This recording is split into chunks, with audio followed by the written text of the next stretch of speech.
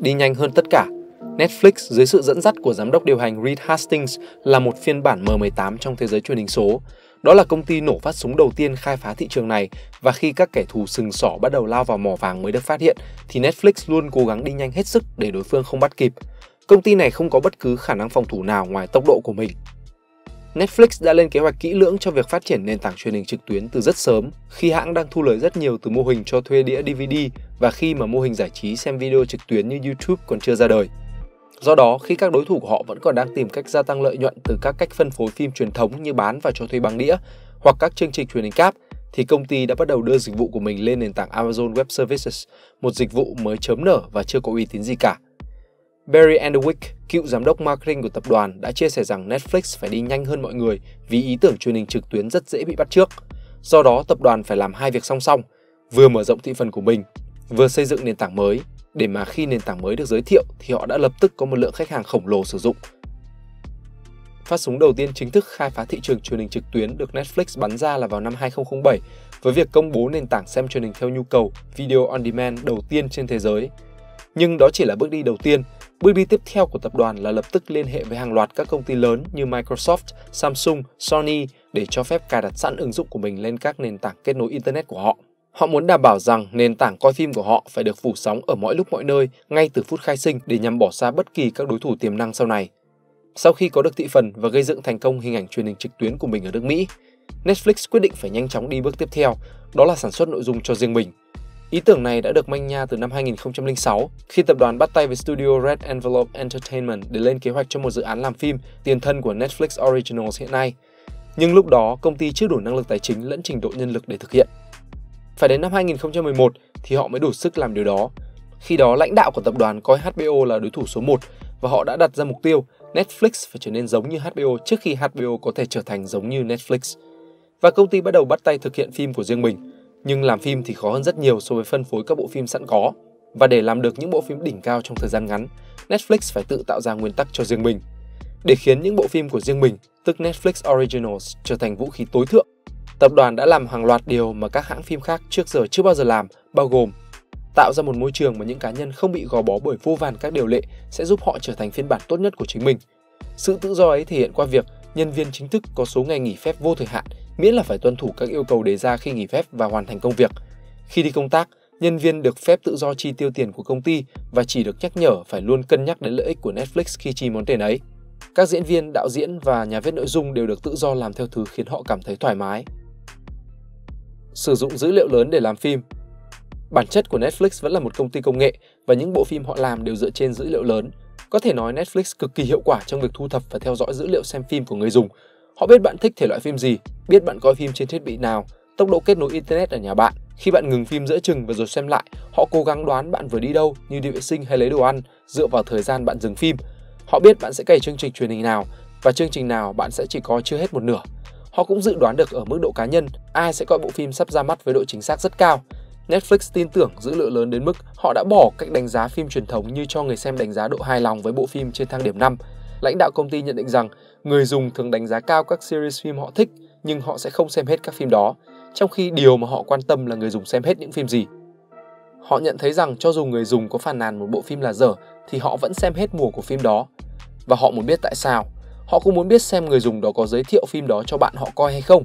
Những điều đó quan trọng hơn là việc người dùng họ nói họ thích gì. Xây quan hệ tốt với nền công nghiệp điện ảnh. Dữ liệu lớn tuy có sức mạnh vượt sức tưởng tượng khi được khai thác đúng cách. Một mình nó vẫn không đủ khả năng để Netflix có thể biết được người dùng thích gì trong quá khứ. Nhưng để tạo ra được thứ mà người xem thích thì họ cần một mạng lưới quan hệ rộng với các diễn viên và đạo diễn. Nhờ nhiều năm đi ký kết hợp đồng bản quyền với các hãng phim, công ty đã gây dựng được mối quan hệ sâu rộng trong làng điện ảnh Mỹ để tiếp cận với các đạo diễn và diễn viên tên tuổi. Từ những bộ óc tài ba này, kết hợp với những phân tích có được từ dữ liệu lớn, Netflix đã tạo ra những bộ phim truyền hình đỉnh cao trong thời gian ngắn và cạnh tranh gay gắt với các hãng phim lâu đời khác. Tạo ra môi trường làm việc khắc nghiệt để lọc ra người xuất chúng. Đổi lại sự hào phóng về mức độ tự do trong công việc cũng như mức lương ngất ngược, Netflix tạo ra một môi trường khắc nghiệt như một đấu trường sinh tử thứ thiệt Netflix có chính sách tuyển người khác với Google hay Facebook. Đầu tiên, họ chỉ tuyển những người có thâm niên, senior positions, chứ không tuyển sinh viên mới ra trường hay thực tập sinh. Thứ hai, quy trình tuyển dụng của họ khá dễ thở. Công ty tin rằng cho dù họ phỏng vấn kỹ lưỡng cỡ nào thì cũng không thể đánh giá chính xác được một người. Do đó họ chấp nhận rủi ro bằng cách cho những người đó vào làm và đánh giá hiệu quả của công việc. Điều đó tạo ra một môi trường cạnh tranh khủng khiếp với mục tiêu sàng lọc và giữ lại những người giỏi nhất.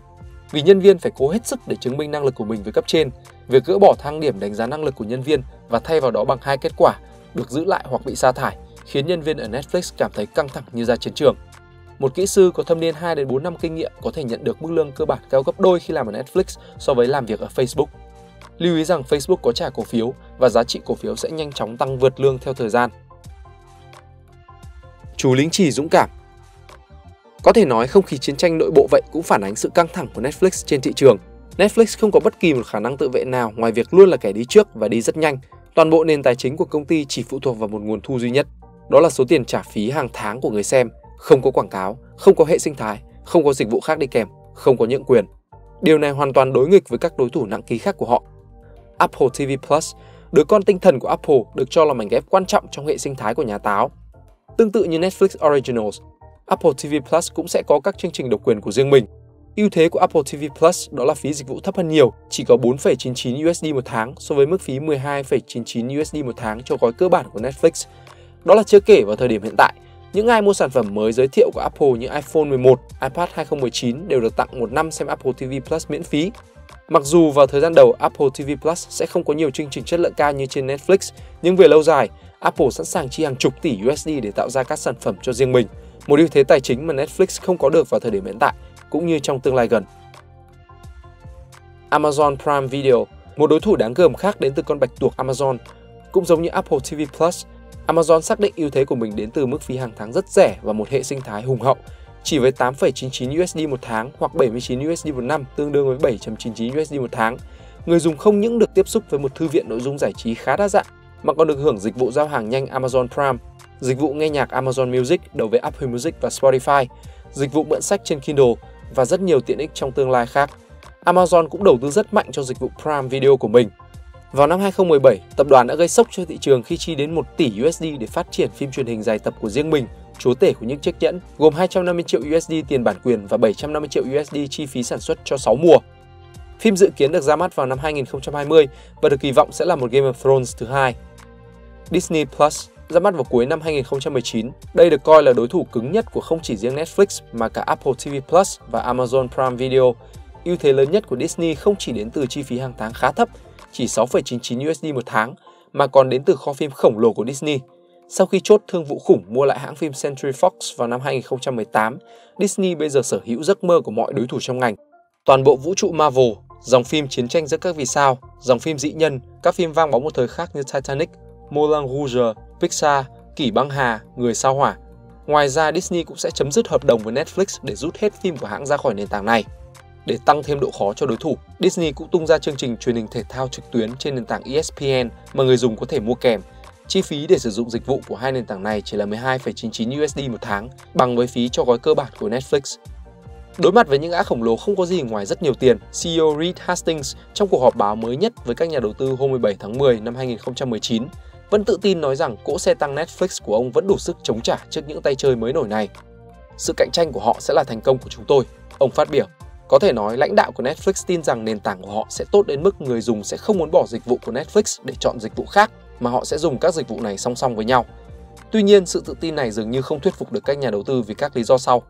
Để tiếp tục thu hút người dùng, Netflix phải tiếp tục đốt tiền để làm phim.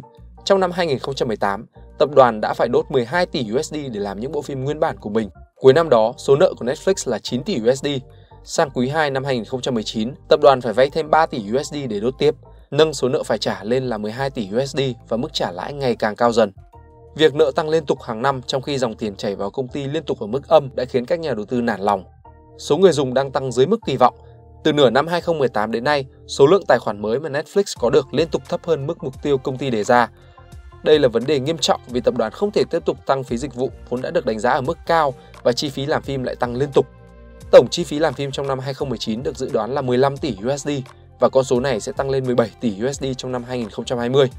Nếu số lượng tài khoản mới tạo ra không đủ nhanh, tập đoàn sẽ phải đối mặt với áp lực trả nợ tăng dần đều. Điều thứ ba khiến các nhà đầu tư lo ngại là việc các đối thủ của Netflix, đặc biệt là Disney sẽ bắt kịp họ trong thời gian dài. Chất lượng phim của Netflix được đánh giá là vẫn chưa đủ tốt để bỏ đối thủ ở khoảng cách xa, đặc biệt là khi các bộ phim ăn khách bị rút khỏi nền tảng. Và về lâu dài, những gã khổng lồ khác hoàn toàn có thể đuổi kịp qua việc đốt tiền. Cần biết rằng Apple có hơn 200 tỷ USD tiền mặt, Amazon là 41 tỷ USD, đủ để tham gia cuộc đua trong nhiều năm tới. Còn Netflix, lượng tiền mặt họ có luôn ở mức âm và được dự đoán ở trong khoảng âm từ 3 đến 4 tỷ USD trong năm 2020. Vậy rốt cuộc chú lính trì Netflix có đủ sức để đấu với những gã khổng lồ với vương quốc giải trí của riêng họ? Ở thời điểm bài viết được hoàn thành thì thị trường đang cho là không và cổ phiếu của Netflix đã rớt từ mức đỉnh 411 USD hồi tháng 6 năm 2018 xuống còn 275 USD, mức giảm 33% và người ta tin rằng giá trị thật của nó còn thấp hơn nữa, chỉ vào khoảng 220 USD. Tuy nhiên còn quá sớm để nói trước được điều gì, bởi vì giống như Tesla, Netflix đã nhận được dự đoán về sự sụp đổ của chính mình liên tục suốt 5 năm qua. Đây là thời điểm được gọi là vượt qua hoặc sụp đổ, bend or break. Có thể Reed Hastings cùng những kỹ sư tài năng, những người đã tạo ra siêu tính năng bỏ phần giới thiệu phim và do đó đã giúp nhân loại tiết kiệm lượng thời gian tương đương 52.000 năm, sẽ tạo ra một phép màu mà không ai lường trước được. Hy vọng các bạn sẽ thích video lần này. Đừng quên like, share và subscribe ủng hộ chúng mình. Và nếu các bạn thích những nội dung như trên thì xin hãy đăng nhập vào spyroom.com để tìm đọc thêm. Mình là Việt Anh, xin chào và hẹn gặp lại.